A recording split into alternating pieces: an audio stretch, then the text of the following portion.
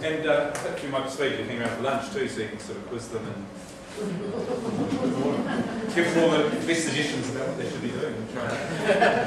um, so I've persuaded Andy to actually um, lead the next part, which is how you might actually teach uh, introductory HCI.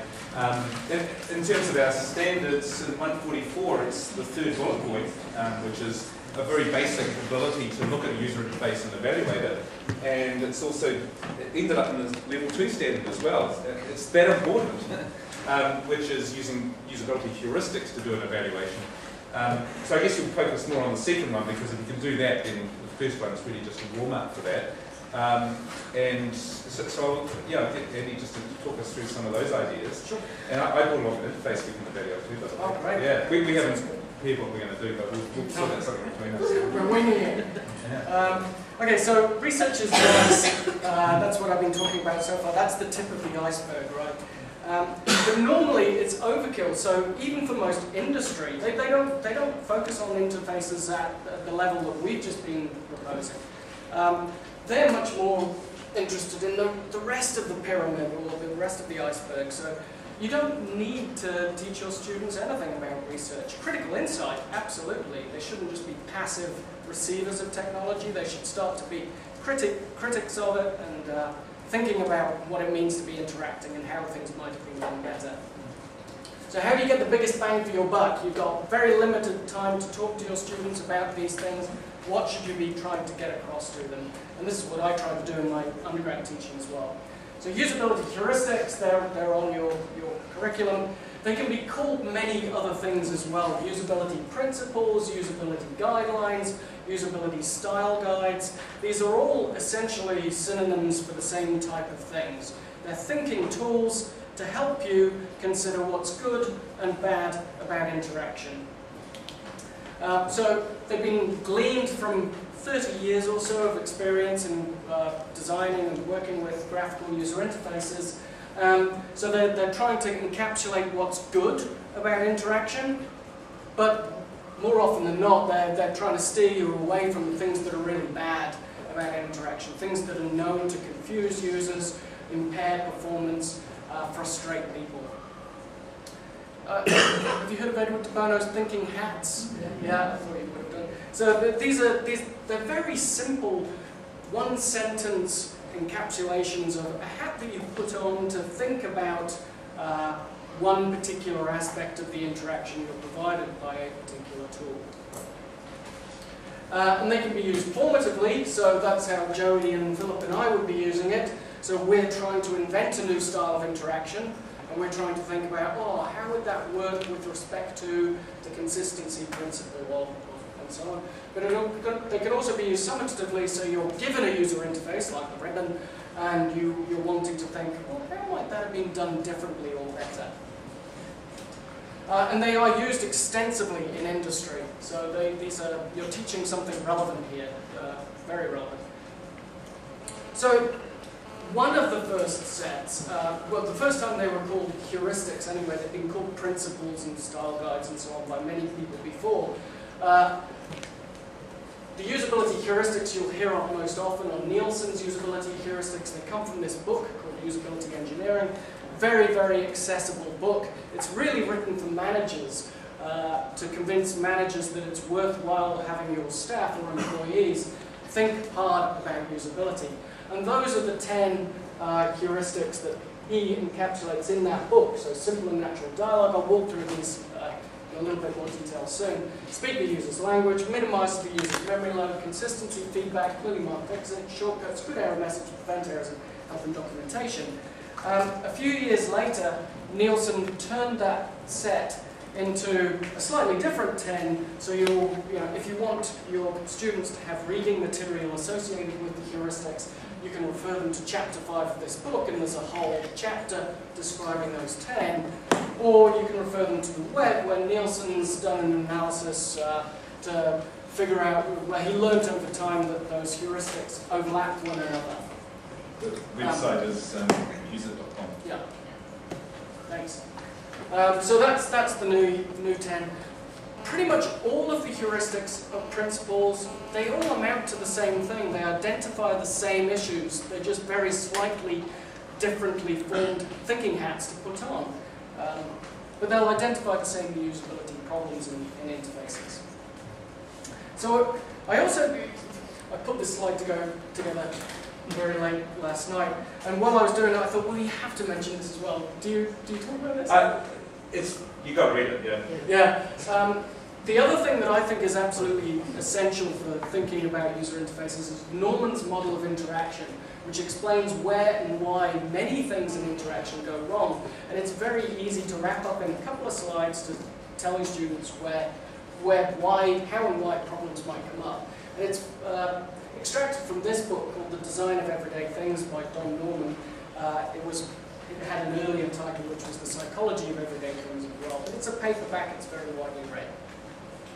So it just, Norman's model tells you the obvious things about how systems come to be. First off, there's a designer, and a design, or a set of designers, and a designer actually goes off and creates a system.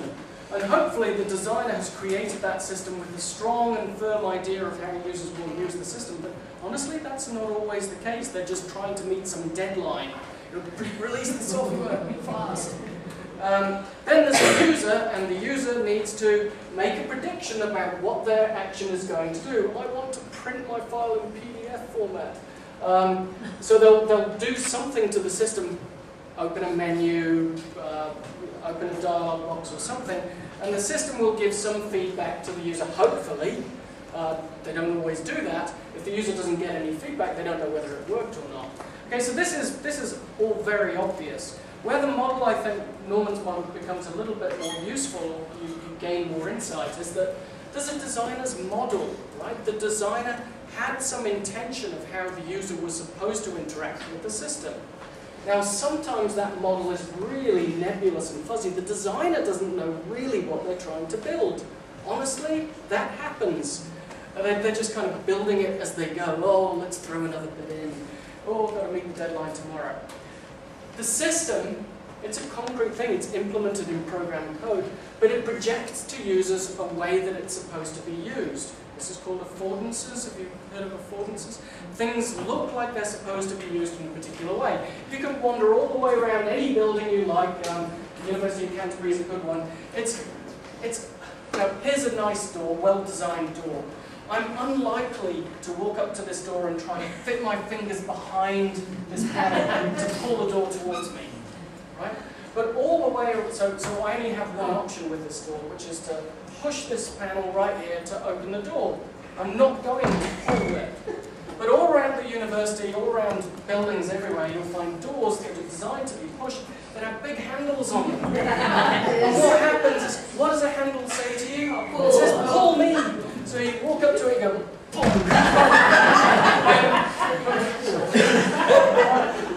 so, so there's an affordance, handles cost panels as well. So money has been spent to make the system hard to use, right? Because nobody thought about the interaction.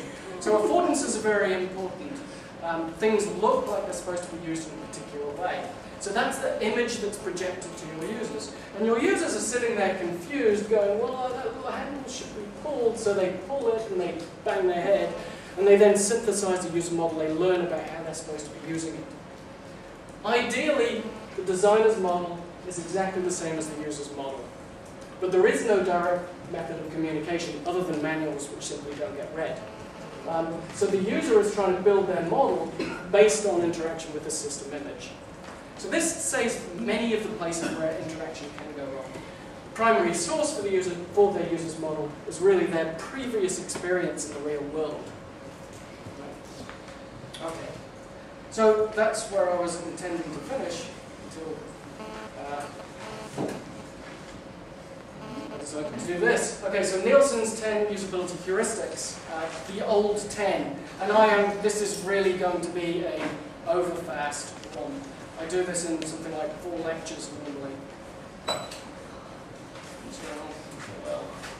Well, I should mention that um, one of uh, the things that Hardy's doing is putting together a PowerPoint presentation that's got all of these heuristics in it with um, examples and so on. Um, so we'll put that up on ExecDid, and then you can just put in your own examples of your favourite bootenders that you smash into, or uh, your favourite buttons that entice you to do something and fail or something. So at level, level two, are they, should they know all 10? Sorry, Do they need to know all, all, all of these 10 heuristics? uh, Uh, do they need to know all ten? Yeah. Well, it's, it's, it's a project, so um, you just the, I mean, Andy, had the list of 10 up before, um, and essentially what you'd be doing is you take a device, um, and this is the personalising part, which I'll just talk about how the project will work. So, so pick any device, a cell phone, an MP3 player, a um, Microsoft Word ribbon, um, and just some small part of it, and uh, were you going to get to that, or shall I just go through that part? No, you go Yeah, yeah, okay. Um, and then, and, and so um, then the student would take those 10 heuristics and say, and you could do it one way or the other. You could either say, I'll try and find an example for four or five of those heuristics that this device fails on. Um, or you can do it the other way around. I'll use the device, or even better still, I'll get someone else to use the device. Uh, and whenever they trip over or get frustrated or swear it or whatever, I'll go and look up which of those heuristics was the one that, that probably caused that. And it, it- quite often it's two or three. Um, so, you know, do they have to know? No, but it's, it, it's just a, a benchmark to measure everything by. Um, rather than, the alternative is to say, oh, you know, this MP3 three player sucks and an iPod is very cool. Um, it gives you something very different to say about it. It's worthwhile pointing out too that many of these heuristics overlap one another. And uh, so if you've got one particular problem that's prominent in an interface, it's likely to be captured by many heuristics. Okay? And that's a good thing because it's kind of a fail-safe. You are likely to spot the biggest flaws. Um, so very quickly, the first of the heuristics, simple and natural dialogue. What does it mean? Well, I take it to mean is the complexity of what it is the user's trying to do, the domain of the application, is the complexity well managed? I'm sure you've all found devices, you know, mobile phones. I want to make calls and I want to send the occasional text message. That's it. And yet this thing kind of amplifies the complexity of doing that. It's more complex than it needs to be. Okay, so is it as simple as possible, but no simpler? Right? You don't want to lose some functionality. I want to be able to call people and send text messages, and I can only call people. That's too simple now. Or a nuclear power plant that has you know a big green button and a big red button, go and stop. that's, that's, that's too simple. You, you probably want higher level of control than that. So I, I then subdivide that into uh, organization of the interface, really. Presentation, does it look simple and natural? Right? Because you can have something that, that just the presentation is disorganized and cluttered, unfriendly. And then the navigation, so as you move through system states, select things from menus and so on, is that movement through the states simple and natural as well? Do things flow in the order you'd expect? Or do you find yourself going, what? What's this now? Um, so graphical design, using Windows frugally, less is more. So let's have a quick look at that. So here's two applications trying to do exactly the same thing. Winamp versus the minimized iTunes interface. What do I want to do with my music? I want to play, pause, and skip tracks. Pretty much everything I want there. This one, you know, look at all of the components there and think about what are they supposed to be doing. Does it need to be like that? Maybe it's, you know, the answer may not be, the, the answer may be yes, it does need to be like that because it's designed for people who have specific needs. But this is more likely to be nice and, I, I think, nice, simple design. So the, the gadget I thought we might look at at some stage, this is an alarm clock. And uh, so one example here, the, the thing I really love about this alarm clock is that when you set the time, it's got an up and a down button. Um, so, so most alarm clocks, you know, you go one minute past the time you're trying to set, and yeah. so Yeah, here's, here's another clock, right? I had a clock prepared for you. So this is an old one from an old Microsoft system. You know, there's an affordance here, right? I'm wanting to set the time. What am I likely to want to do from my experience of the real world? Grab the ah, grab the hands and drag them. Maybe because there are these weird check button things, click on those. I'm certainly not going to anticipate that use the left mouse button to change the minute in which direction. Use the right right. Oh, it's just wrong. Uh, there's endless examples of all of these things. Uh, you know, so I'm, as I say, I'm, I'm under a lot of time pressure, so I'll move on. Speaking the user's language. Okay, and this again is a bit, captures notions like affordance. Are things presented to users in a way that makes sense for the people who have an expertise in whatever ever area you're supposed to be using? So sometimes software is made for accountants. Computer scientists aren't accountants. Computer scientists build the system, but they may not know the language that accountants have. Computer scientists build systems for uh, um, you know, radiographers. Hopefully they know the language of the radiographers, that you need to learn that language before you can build a system for the radiographers. Know your user. Um, so, yeah. Let's look at a couple of examples of that. So here's a, you know, you can imagine an ATM giving you a message like this, maximum withdrawal of $50 at, that, at this time. That's in a language I understand. This one is not. X25 connection discarded due to network congestion. Look, which one do you think you're more likely to see? Here's a, another real interface. You know, flag 1 to 20. What does that mean? It means absolutely nothing, I suspect, to anybody. It means something to the, to the person who's building the system, but to nobody else. Um, even things like this, these toolbar icons. You know, they're an annoyance. So often you look at those things and go, what earth is that supposed to be? Minimizing the user's memory load. Okay, so uh, a lot of systems require the user to keep track of stuff in their memory. Um, systems should try to minimize that. Defaults and examples are one of the best uh, examples of that, so I'll just move on to a quick example. Here's one dialog for doing dates. Now I'm sure you've all seen this, a computer system that asks you for a date like this. You go, well, what the heck am I supposed to type in there? There's a different field, month, day, year, that's slightly better, but you don't know whether you're supposed to type a number in there or a word. This one's getting slightly better, but you're still required to do all the typing, whereas now you've got a drop down. This is the best one yet. Better still, you have a drop-down calendar, and it's like, I know I need to do it next Monday. What date is next Monday? Well, the system has access to all of this. So we're getting zero default information, plenty of default information. This is what we want to see. Uh, being consistent is a golden rule of uh, HCI, so this should be should be consistent in the consistency in the graphical design and the command structure and everything else. So, so let's just do two examples. Is this over September? Yeah, Um, so you know, here's an example of the meaning chip, uh, meaning chip, meaning inconsistency. You drag an MP3 icon to the file, to the wastebasket. What do you get? Delete the file. You drag a CD to the wastebasket, what do you get? Eject the disk. You know, what's the last thing you're going to do with your valuable CD? the last thing you're going to do is put it in the wastebasket. So that's a meaning ship uh, a meaning inconsistency. There's an inconsistency in graphic design, so somebody's come up with a bunch of icons and later the graphic artist has gone on holiday, so they've just stuck another one in uh, the system and it just sticks out like a... Uh, providing feedback. Users have to know the state of the system in order to uh, realize what's going on. So you must, the system should continually inform the user about the state of the system. So what the system's doing, um, the system's interpretation of that.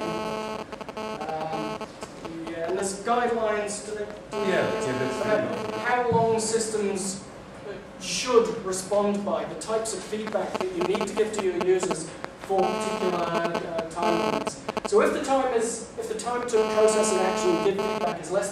second, users will perceive that as being more or less instantaneous. So if you're wanting to allow the user to drag something across the screen, you need to get feedback of that in less than 0.1 second, or, or they're going to stay